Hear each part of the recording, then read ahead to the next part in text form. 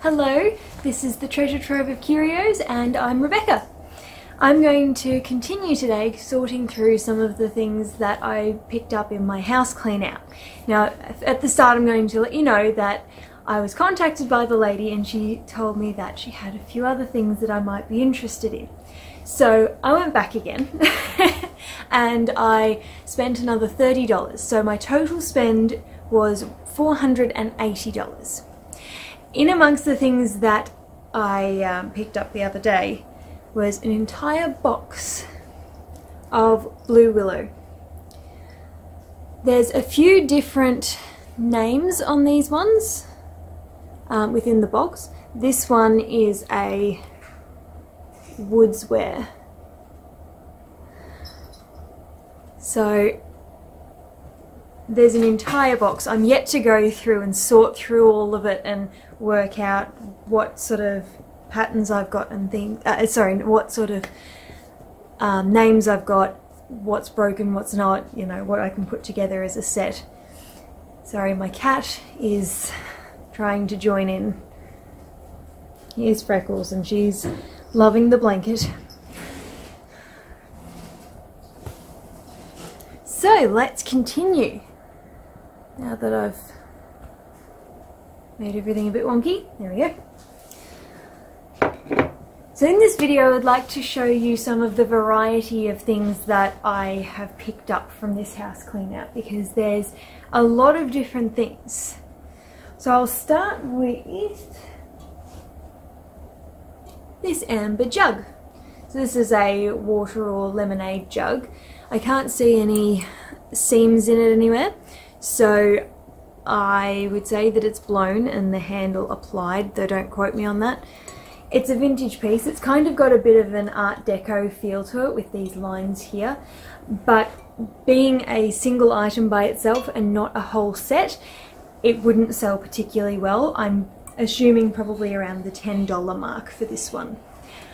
But I have a different set. Sorry, just reaching down. I have got a new inbox set here. Now I'm not sure how you pronounce this name. I get the right side of the box. Bormioli. Don't quote me on it. I'm guessing it's something like that. Uh, so this is an Italian set. Ow! Sorry, the cat's being a little bit too affectionate. Uh, there's six glasses. They're all the same. Some are upside down and some are not. And then the, the jug that goes with it. Freckles, honey, come over here. Love that blanket. Now, I had a lot of trouble finding sets by this name, but Amber doesn't sell particularly well. It's not one of the colours that is most fashionable, I suppose. So this is probably about 20 to $25 for this set.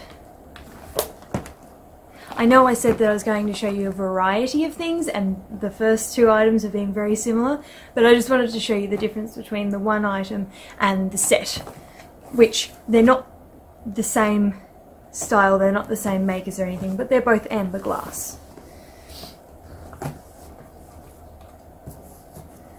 I'm hoping that because it's new in box, I may be able to get it up to that next bracket, so it may get up to the the 30 to $40 mark, but we'll see. We'll see what happens there. Now there's a lot of salt and pepper shaker sets. Um, this one is new in box, though there are no names on it anywhere. So I'm not really sure who's made it. I I guess that because there's no names, it's nothing particularly special. So it's probably a $5 type set, this one. But it's actually quite nice. This is something that I would use. It's got the wood and the metal. with that crystal sort of style shape on the shakers themselves. Now there's other salt and pepper shakers that I have got in the collection of things that I picked up from the the house clean out, but I couldn't find them because they're in one of the boxes. so I sh I've showed you one of the sets that was easily accessible and I knew where it was.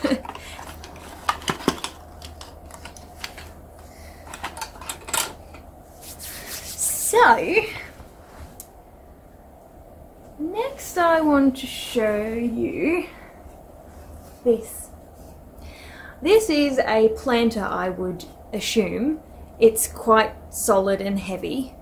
It's got a pretty gorgeous pink and green sort of splatter glaze. But it doesn't have any names on it. I can't find any names anywhere. It's got some slight um, crazing that's happening. I'm not sure if you'll be able to see that. Oh, you might be able to. There we go. So it has got some crazing in it, which I think is genuine crazing, not fake crazing. So it's got a bit of age to it. But it's nice. It's got a really unique shape. And I'm not sure what, how to describe this shape.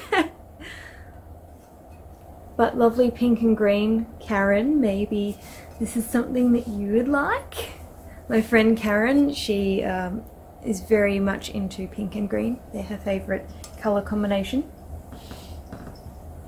Which carrying on with the Karen and pink and green theme, I picked up this beautiful vintage hat. Isn't it gorgeous? Now I'd say that it is late 50s, early 60s. I'm not very good with hats. I don't look particularly good in hats. Though I've done plenty of hat modelling in my time. Would you worn something like this. Probably with more appropriate hair.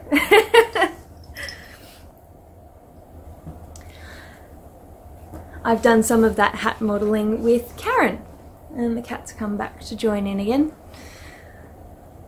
Unfortunately it's got a little bit of a a stain here but it's not that noticeable and it's still really pretty.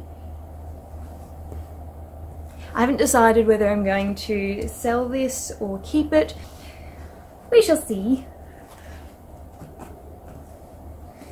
Now, there's a lot of kitchen sort of items that I've picked up from the house clean out. Things varying from egg beaters, old school egg beaters.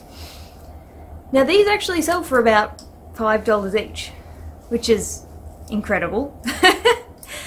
but um, there's lots of vintage cooking items that even just as display pieces would be really great. So that's one item and there's an awful lot of Pyrex. So this one's a new piece, so you can see there, not a particularly old piece. Um, but Pyrex of course sells really well, it's got such a great name. And so there's lots of mismatched pieces, but when you put all of those together, it makes quite a, a decent amount of Pyrex and quite a good set. So um, individual items may only sell for two or three dollars. But when you add all of that up, you've got quite a bit, which is something that I'm I want to highlight in this video is that nothing here that I've got is a particularly high selling item. The hat is probably one of the the biggest sellers, I would say. So this is probably worth about $20, possibly $25, but I would say less than that given the stain. Maybe only 15. Um, but when you put together lots of items of five to ten dollars, by the time you add all of that up, that's quite a lot. So that's sort of my plan with a lot of the, the items that I've picked up from the house clean out is not necessarily to get the most amount of money that I possibly can for it, but to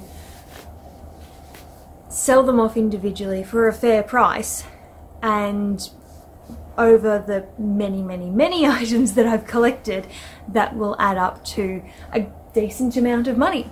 That's the plan anyway. So I've got here a teacup and saucer set. This is a bit dusty and dirty. So this is a luster set, as you can see there. And here's the saucer. And it is made in Japan. Now made in Japan things don't sell particularly well, but this is quite a unique one being th the three-footed design with the gold and it's really quite pretty and is also pink and green. We've got quite a theme going on today. So this is probably about $10 I would say for this set and I've got quite a lot of teacup and saucer sets. You're right there kitty. So over the course of all of them, that'll add up to quite a nice figure. This is just one of the ones that I pulled out to show you, one of the possibly more interesting ones that was in that box anyway. There are other boxes. um, almost forgot. I have a Satin Glow silver tray here now this is brand new and it is, I'll see if this is going to pick up because it's shiny. It is tarnish protected. I couldn't quite work out exactly how old these are. They're not that old. Brand new with all of the stickers. And that one just came off the back there. But these don't sell particularly well.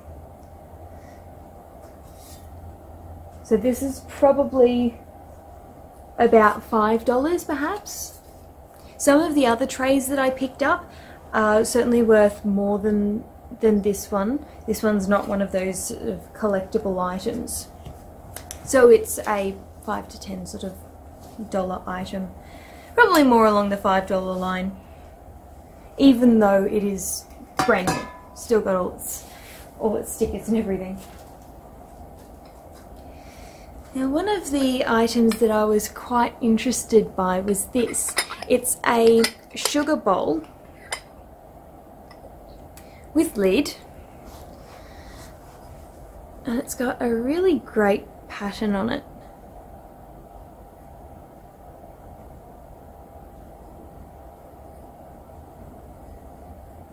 And it has pretty colours and I like pretty colours. So there's the bottom of it. I'm sure I'm going to muck up the pronunciation here. Turi design, Lottie, and it is made in Norway. Now I saw a comp for one of these, that's a completed item as sold on eBay. So recently one exactly the same as this has been sold for $20. So I hope that I will also be able to get that for this one. It's got no damage on it, it's really great.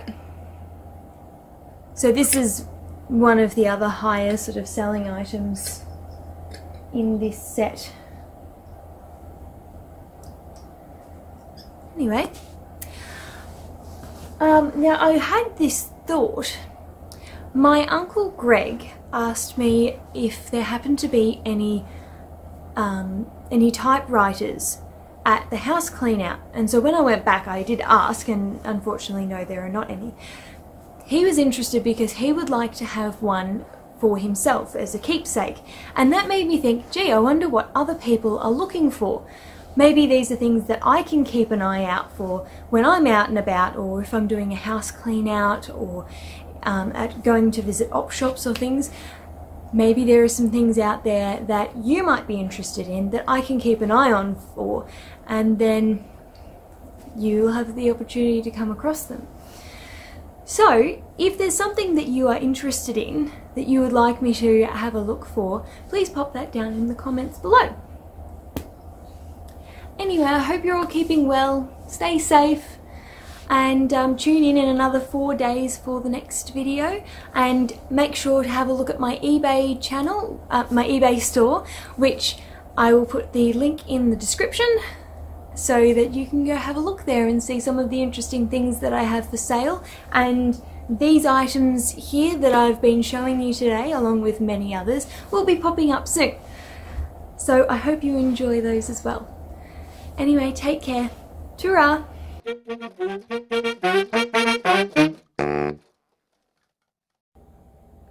Here is my Freckles kitty who was sort of half being in the video but was a little bit shy.